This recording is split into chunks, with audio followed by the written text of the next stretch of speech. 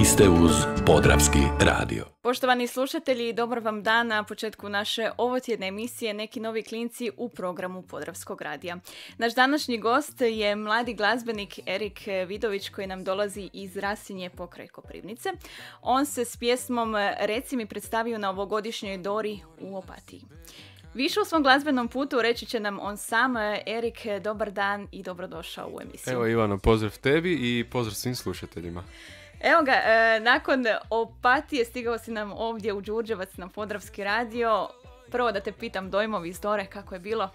Pa evo, stvarno mogu reći da mi je bilo super. E, kao prvo nisam zapravo niti očekivao da ću proći na Doru i to je već za mene bio jedan veliki uspjeh. A onda kad sam se već na Doru i plasirao, rekao sam sam sebi, bitno mi je samo da nisam zadnji. I eto, moram zahvaliti svima koji su glasali i naravno i stručnom žiriju diljem Hrvatske koji su mi dali bodove, tako da eto, ostvario sam svoj cilj, nisam bio zadnji. A što se tiče svih dojmova, stvarno meni je bilo jako, jako lijepo, bilo mi je super, e, sve to jako profesionalno, a opet na neki način dosta je opušteno jer smo imali puno slobodnog vremena za druženje, izvođači i međusobno. Pa eto, stvarno mogu reći da mi je bilo jako, jako lijepo. Da, evo, stigao si do opatije, do naše Dore. Ipak, e, voljeli bismo nešto više čuti za početak o samom tebi. Ja sam rekla nekoliko riječi iz Rasinje. Još nešto što bih htio dodati, evo. Pa evo, zapravo glazbom, pošto evo pričamo najviše o glazbi, glazbom sam se počeo baviti sa 8 godina kad sam upisao zapravo osnovnu glazbenu školu u Koprivnici, svirajući gitaru. Započeo sam, ajmo reći, taj neki svoj glazbeni put i iako sam ja zapravo planirao da se prebacim na pjevanje u trećem razredu, gitara mi je išla jako dobro, počeo sam pobjeđivati na natjecanjima, postao sam čak i prvak države i onda sam odlučio držati se gitare pošto mi očito dobro ide zašto sad mijenjati na pjevanje. Ali eto, nakon završene osnovne glazbene škole, nekako sam odlučio da nisam se skroz pronašao zapravo u klasičnoj glazbi i da bi želio jednog dana raditi svoju glazbu, jednog dana svirati popularnu glazbu koju sam najviše slušao i još uvijek slušam. I eto tako sam onda nakon nekog vremena pridružio sam se nekim zborovima, počeo sam sam nastupati na manifestacijama, koncertima i tako raznim događanjima. I nakon završene srednje škole upisao sam akademiju gdje sam naučio raditi produkciju tako da, znači, to je Music Production Academy u Zagrebu i eto, znači, naučio sam nešto i o samoj produkciji, počeo sam raditi svoje pjesme i eto, sad sam tu gdje jesam zapravo. Sad tu gdje jesi. Je li se možda itko u tvojoj obitelji bavio glazbom pa je to nekako prošlo na tebe? Pa zapravo moram reći da su svi obitelji dosta muzikalni, ali niko se nikad nije odlučio baš profesionalno baviti glazbom, pa onda ono, djed i ujak mi znaju malo svirat harmoniku, tata mi zna malo svirat gitaru, tako da ono, sve u svemu, svi su muzikalni, svi stvarno lijepo pjevaju, ali nitko se nije odlučio baš konkretno baviti glazbom, pa eto ja sam prvi od njih svih. Krenuo, da vas kupimo jednu hrpu, mogli bi napraviti neki band. Pa sigurno da da. dakle, sviraš gitaru, rekli smo, pjevaš, jel, možda, jel se možda sjećaš koja pjesma koju si prvo napisao? Pa, Ili zapravo, recimo otpjevao, prosti što te prekidam. Pa ne sjećam se više točno, znam da sam u jednoj školskoj predstavi, ako se ne varam, imao sam možda 10 godina i znam da sam pjevao pjesmu Dine Jelusića Ti si moja prva ljubav, jer je bila u nekom e, nekoj predstavi pa odgovarala baš ta pjesma. Sjećam se da mi je to bio neki ajmo reći prvi nastup gdje nisam svirao klasičnu glazbu i zato ga ajmo reći pamtim. osim gitare, je li sviraš još nešto? Pa da, zapravo sviram uz znači primarno akustičnu gitaru i klasičnu gitaru, još električnu gitaru i bas gitaru, a isto tako znam svirati i klavir, ali nedovoljno dobro da se sad baš mogu snaći da u isto vrijeme sviram i pjevam na nekom nastupu, ali ovo za potrebe produkcije koju radim, mhm. čisto dosta znam te akorde i to je najbitnije zapravo. E, dobro, evo sad si već drugi put e, spomenuo tu produkciju, pa onda nam e, reci nešto više o tome, što to točno znači za tebe, kako spajaš ta pjevanje i tu produkciju. Pa zapravo produkcija je dovršetak te pjesme. Ja mogu pjesmu napisati na gitari, ali ništa to nije to dok ja to zapravo kompletnu pjesmu ne krenem snimati, napravim aranžman, a to se sve radi znači na računalu, na u tim softverima posebno dizajniranim baš za rađenje glazbe. I eto ja sam se time počeo baviti prije nekih možda dvije, dvije i pol godine, ali tek nedugo sam počeo to zbiljnije raditi zato jer nikad nisam imao baš konkretno dobru opremu i nisam baš ni imao puno vremena za proučavanje svih tih malih caka jer to vam je doslovno ko slaganje Lego kockica. mm Traja jako, jako puno e, strpljenja i pozornosti da bi to sve sjelo na svoje mjesto. Ali eto, sad mogu reći da na nadolazećem albumu Uh, od 11 pjesama koje su na albumu, ja sam ih napravio 7 potpuno sam, pa eto, mm i vjerujem da su u istom rangu kao i ostale pjesme u Hrvatskoj što se tiče kvalitete te mhm. produkcije. E, što je onda s pjesmom Reci mi? To je sve u tvom aranžmanu napravljeno? Da, Reci mi je pjesma za koju sam pisao i tekst i glazbu i napravio samu produkciju, tako da eto, kompletna pjesma je 100% moja. Tvoja, svaka čast. Onda da pitamo inspiracija za pjesmu. Gdje si je našao? Pa ja inače inspiraciju crpim iz nekih događaja koji su se dogodili meni osobno ili iz nekih događaja koje sam uh, imao prilike čuti od drugih ljudi pa su mi prepričali onda ja to nekako ukomponiram u pjesmu. Uglavnom najbitnije je dobiti inspiraciju i onda je manji problem sve to zaokružiti. I napisati i napraviti. Da. Evo ga, 11 eh, pjesama na albumu si rekao koliko dugo radiš na tom albumu? Pa zapravo sam prve četiri pjesme napravio sa švedskim producentima još davne 2017. godine. I te pjesme su mi doslovno stajale, pošto četiri pjesme nije dovoljno za album, onda bilo mi je malo bez veze što ću sad s njima. Ali eto, nakon e, što sam ja sam savladao produkciju i to baš e, što se tiče ove karantene prošle, baš imao sam jako puno vremena kod kuće, pošto nije bilo svirki, pošto nije bilo ničeg i odlučio sam baš ono zapeti napraviti još pjesama i eto uspio sam napraviti čak sedam pjesama tako da sam eto nadopunio svoj album i sada ih je 11. dakle, e, definitivno možemo reći karantena je bila dobra za glazbenike, baš se sjećam prošle godine u ovo neko vrijeme razgovarala sam i sa Stjepanom Lahom. Mhm. On je rekao evo sad imam vremena pa sad evo radimo na pjesmama, to uopće nije e, problem. E, reci nam kada album izlazi? Album izlazi 9.4. E, znači ove godine, a zapravo je već dostupan za prednaručbu na streaming servisima, pa ako koristite možda Spotify, Apple Music uh ili Deezer, slobodno škicnite moj album, možete ga možda i kupiti, ne bi bilo loše. da, da pomognemo mladim glazbenicima poput tebe. Da. Evo, sad e, da se malo odmaknemo od albuma, recimo neka sad, to je već doista visoka razina tvog glazbenog puta. Na tom glazbenom putu našao se i Voice. Je li tako? Tako je, tako je. Zapravo mi je Voice jako puno pomogao oko karijere. Pomogao mi je da upoznam ljude iz svoje diskografske kuće gdje se trenutno nalazim, a to je Universal Music Hrvatska.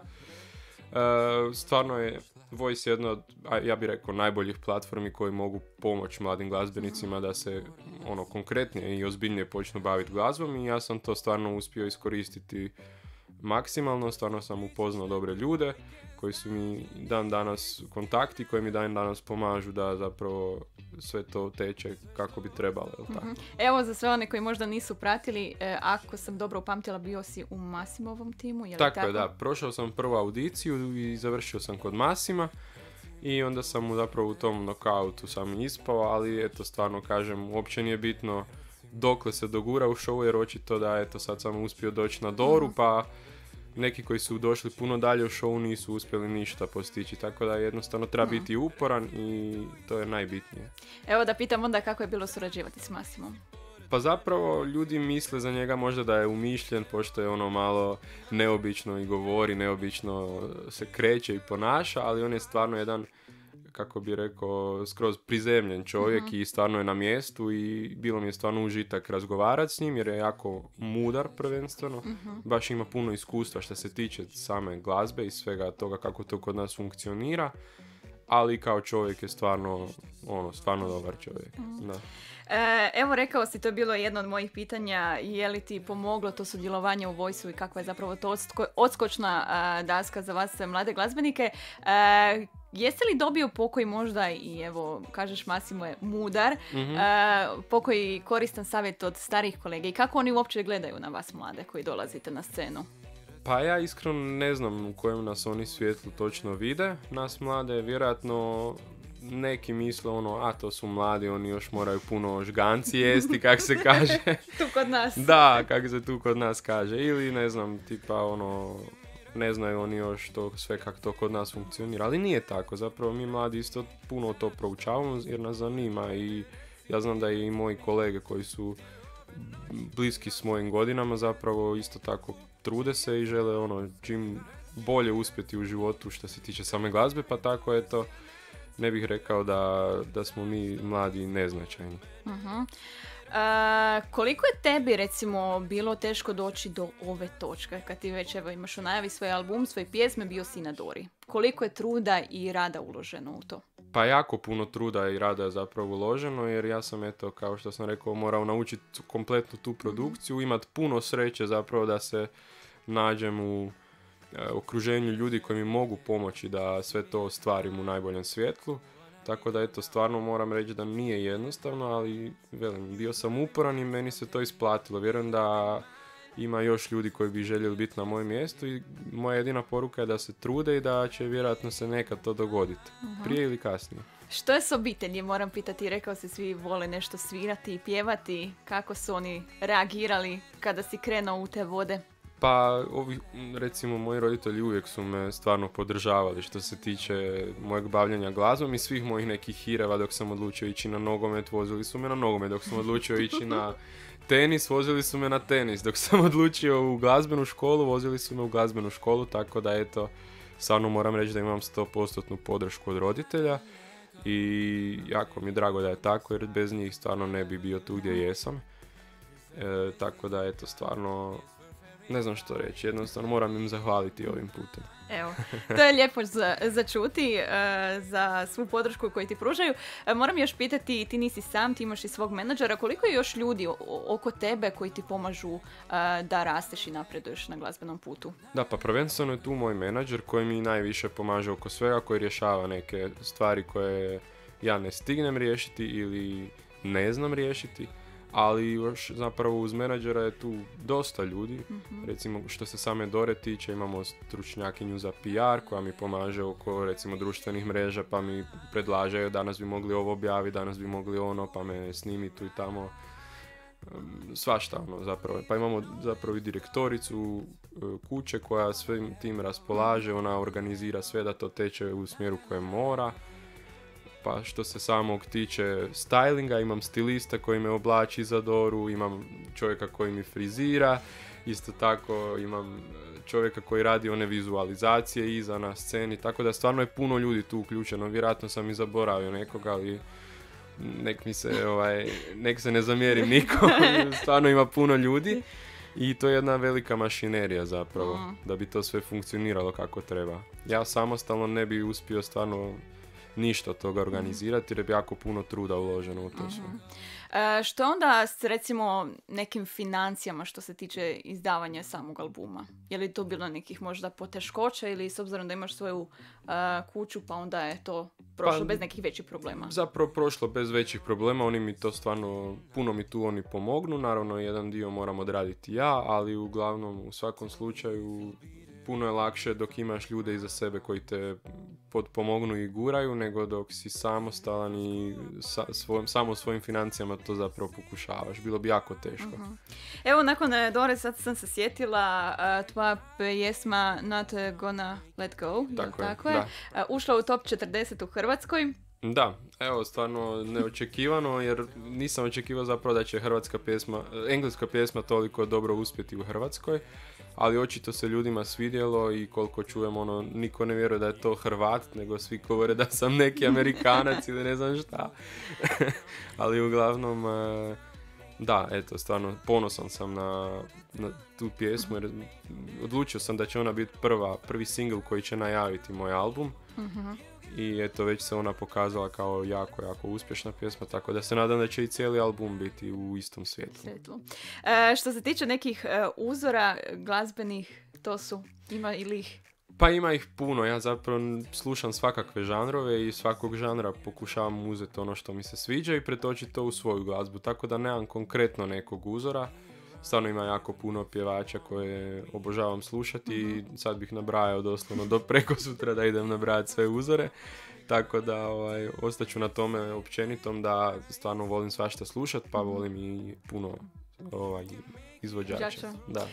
A, dakle, album je pred nekim, možemo reći, vratima zapravo gotov, ali samo se čeka njegov izlazak. Što nakon njega? Pa nakon njega ćemo vidjeti zapravo u kojem svjetlu će se sve to pokazati. Ja već imam spremne pjesme i za idući album, tako da mhm. stvarno e, imam posla i dalje i ne, ne planiram stat zapravo nakon ovog albuma i dalje radim. Mhm. E, u planu mi je zapravo otvoriti moj studio koji, u kojem ću još kvalitetnije mo- moći raditi svu tu produkciju, pošto sam ja do sad sve to radio kod kuće, ono na minimalnoj mogućoj opremi, tek toliko da imam sad sam već ovaj, uspio uložiti nešto novaca u to i sad već stvarno otvaramo ozbiljan studio koji je doslovno pri kraju i treba još samo ono, par završnih finesa. mm Ja sam spreman za, ajmo reći, useljenje i onda ću se stvarno još bolje moći koncentrirati na to jer će stvarno uvjeti biti puno profesionalni i vjerujem da će biti više inspiracije. Mhm. Da pitam onda gdje će biti smješten taj studij? U Rasinju, u mom selu. U Rasinji, evo. Da, u, eto, na mirnoj lokaciji, pa ono, možete doći i snimat kod mene. evo ga, hvala na ponudi. Naravno, mislim, vidim da imate stvarno ovaj, super opremu tu, tako da vam ne bi ja baš bio puno od pomoći. Ali svakako, ako nešto pođe po zlu, mi ćemo se sjetiti poziva. Može. Može, dogovoreno. Naravno.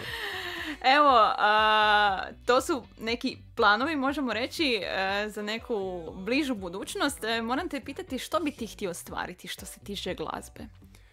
Pa gledajte, ja bih želio stvarno da mogu samostalno i konkretno živjeti baš od glazbe, mhm. pošto sve više se postavlja pitanje je li to zapravo moguće u Hrvatskoj. Ja kažem da je moguće, mhm.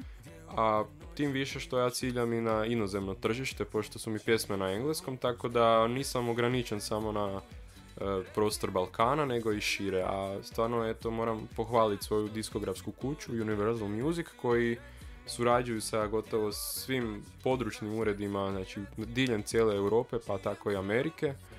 I zapravo mi jako to puno pomaže što se tiče te, ajmo reći, inozemne karijere. uh Dakle, ne ograničuješ se samo na Hrvatsku. Da, definitivno ne. Želio bih, pošto je danas već, e, kako kažu, svijet jedno malo selo, svi smo si dostupni, zapravo jednim klikom mogu biti u Kini, u Americi, bilo gdje. Tako da treba iskoristiti to i tehnologiju i sve što nam se pruža da bi zapravo plasirali te pjesme čim je šire moguće. uh Onda mi smo relativno na kraju, pobliže smo te upoznali, tvoj album eh, koji nam stiže, pjesme, eh, tvoje ciljeve i planove za neku eh, narednu budućnost. Već si jednom dijelom nekako i uputio poruku mladima da se bave, da ustraju, ali evo još za kraj neka poruka za sve one koji se žele baviti glazbom, koji su tu negdje, ali nikako da dođu na svoje. Pa da, nemam zapravo nešto konkretno drugačije za reći. Stvarno morate biti uporni, morate se E, truditi u tom smjeru, doslovno ulagati i vrijeme i znoj i novac i sve da bi to uspjelo jednog dana i naravno najbitnije biti dobar čovjek prema svima. Mislim da je to stvarno najbitnije za uspjeh i meni se već puno put pokazalo da ako nisi dobar jednostavno neće to biti dobro tako da budite dobri i i sve će biti u redu. Ono. Erik, hvala ti na ovim lijepim riječima. Imaš li još možda nešto dodati za kraj? Pa evo, želio bih još pozdraviti sve slušatelje i zahvaliti svima koji su me slušali. I eto, pozivam vas još da poslušate sve moje pjesme, album jednog dana kad izađe i stvarno bilo bi mi čast da stavite i neki lijepi komentar možda na YouTube-u, zapratite me na društvenim mrežama i tako kako to već sve ide. Kako ide to u ovom modernu doba. Da. Erik, hvala ti na dolasku i hvala ti na razgovoru. Hvala tebi i eto, do slušanja. Poštovani slušatelji, stigli smo na kraj naše ovotjedne emisije Neki novi klinci u programu Podravskog radija u kojoj smo gostili mladog glazbenika Erika Vidovića koji nam dolazi iz Rasinje pokraj Koprivnice, a koji nam je nastupio na ovogodišnjoj Dori s pjesmom Reci mi. U emisiji smo porazgovarali o njegovom glazbenom putu, ali i planovima za budućnost. Hvala vam na pažnji i lijep pozdrav do idućeg susreta.